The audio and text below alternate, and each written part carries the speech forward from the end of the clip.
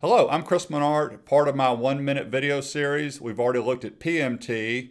We looked at IPMT, which is the interest payment. Well, the opposite of the interest payment is PPMT, principal payment. So let's go ahead and do that. So when I make that very first payment, how much money is going to principal? This function has one additional argument that PMT doesn't have, and it's the second argument what period are you looking at? Everything else is the same. 4% divided by 12, comma, here's that second argument. I'm going to take a look at payment one, and then I'll go take a look at another payment period. So the first payment I make, uh, 30 years times 12 months, comma, and then negative PV.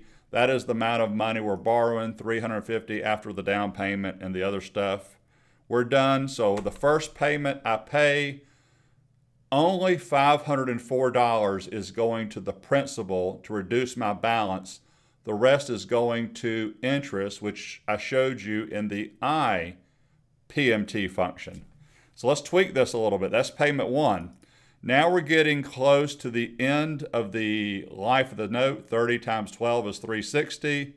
I'm going to take a look at when we make payment number 350. This number should be pretty close to the 1670, and it is because now more of it's going to the principal. Feel free to subscribe to my YouTube channel. Let me know if you have any comments or questions and have a wonderful day. Thank you.